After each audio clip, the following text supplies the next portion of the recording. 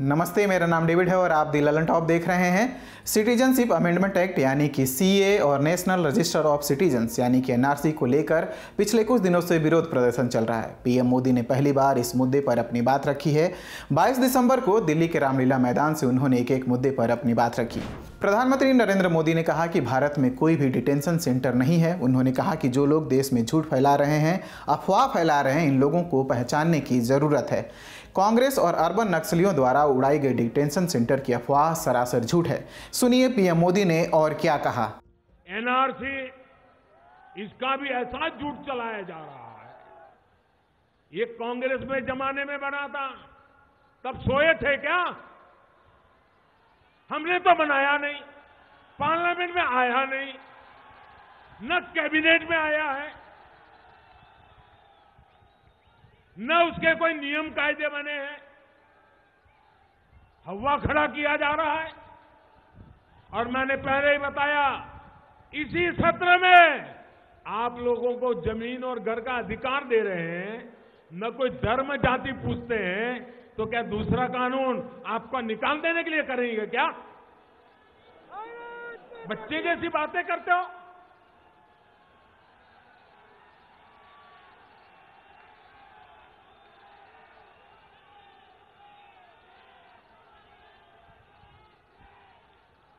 कांग्रेस और उसके जैसे दलों ने चिल्ला दिया कि वो देखो क्या चल रहा है, आप मैं बताता हूँ।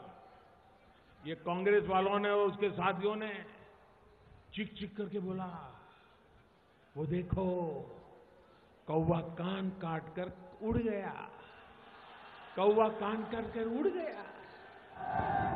और कुछ लोग कौवे के पीछे भागने लगे। अरे भाई, पहले अपना कान तो देख लीजिए कि कौवा काट गया कि नहीं काट गया।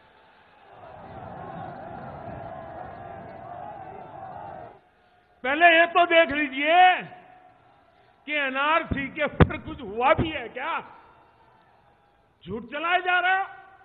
मेरी सरकार आने के बाद 2014 से आज तक, मैं 130 करोड़ देशवासियों को कहना चाहता हूँ। कहीं पर भी एनआरसी शब्द पर कोई चर्चा नहीं हुई है, कोई बात नहीं हुई है। सिर्फ़ सुप्रीम कोर्ट ने जब कहा तो हो सिर्फ़ आसाम के लिए करना पड़ा। क्या बातें कर रहे हो? झूठ फैलाया जा रहा। कांग्रेस और उसके साथ शहरों में रहने वाले कुछ पढ़े लिखे नक्सली।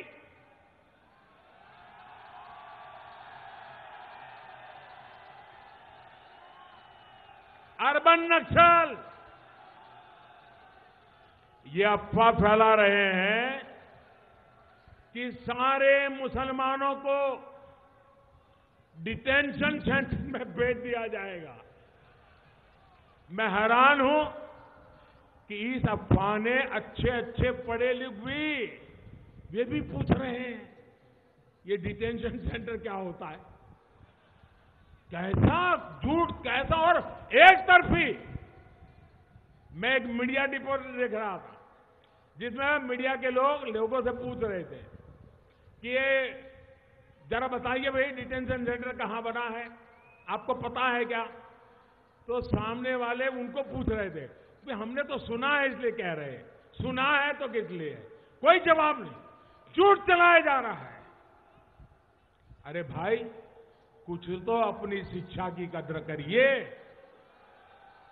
एक बार पढ़ तो लीजिए कि संविधान, संशोधन और एनआरसी, ये सब है क्या? आप तो पढ़े लिखे लोग हो।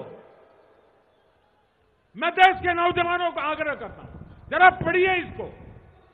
अब भी जो भ्रम में है, मैं उन्हें कहूँगा कि कांग्रेस और अर्बन नक्सलियों द्वारा उड़ाई गई डिटेंशन सेंटर के अफवाहें सरासर झूठ है, बद इरादे वाली है। देश को तबाह करने के नापाक इरादों से भरी पड़ी है। ये झूठ है झूठ है झूठ है।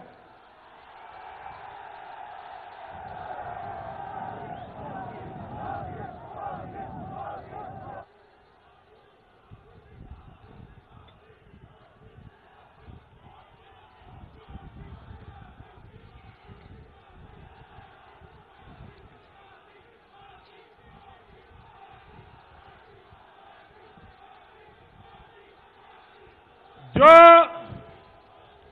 जो हिंदुस्तान की मिट्टी के मुसलमान है, जो हिंदुस्तान की मिट्टी के मुसलमान हैं, जिनके पुरखे माँ भारती की संतान है, भाइयों बहनों, उन पर नागरिकता कानून और एनआरसी दोनों का कोई लेना देना नहीं है।